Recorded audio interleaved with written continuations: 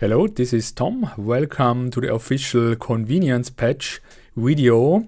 The recently announced performance patch is still underway. To bridge the waiting time, we decided to release all the features and improvements which are already done in a separate update.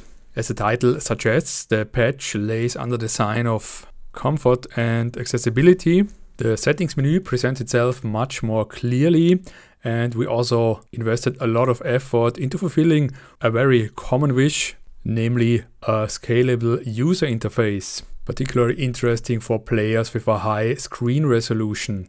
The size can be adjusted to fit the personal preferences in the settings menu or also in the game itself. Additional elements like sliders, drop-down menus and most prominently scroll bars simplify navigating in menus and lists. In response to widely held preference, we changed the autosave feature. It is no longer dependent on in-game time progression. Instead, it does now save after a certain amount of minutes and therefore does also save while the game is paused. The menu to manage mods was also overhauled and does now offer the possibility to sort and filter by certain criteria, as well as includes a full text search to quickly find mods. The load order can also be changed in the same menu easily.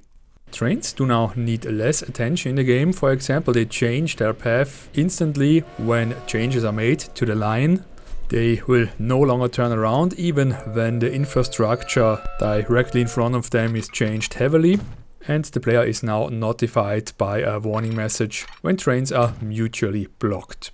In addition, the message notifying the player about unconnectable stations was expanded to include the station number. This is true for all types of vehicles. The visibility of the layer while electrifying, respectively upgrading tracks and roads, was improved by increasing the contrast and by enlarging small pieces and segments. City growth charts with a lot amount of data are now better legible. Roadside bus stops can now be bulldozed by clicking on the icon. The tooltip in the finance window shows the maximum loan and the line list was expanded to include a new column showing the maximum throughput of a line. This helps to match lines which use vehicles with different capacities. Another common request we met regards city growth. We optimized the requirements of the city. Delivering cargo to commercial and industrial zones has now higher importance than before. This will only affect games started with the new patch. We also aimed to fulfill some wishes of our active and respected modding community.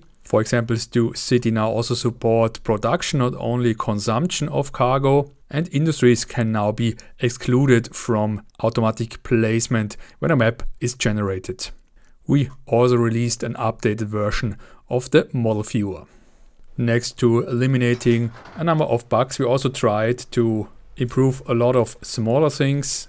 For example, it is now possible to upgrade depots which contain vehicles and the flow of goods and passengers was also improved. They now try to avoid traveling in loops and the behavior while a line is set to full load any was also improved. It was a great pleasure to compile the current patch according to the numerous wishes and the valuable feedback of our players. The work on the next patch is already on its way. Thanks a lot for your attention and on behalf of the whole team I wish you a lot of fun with the latest patch and with Transport Fever.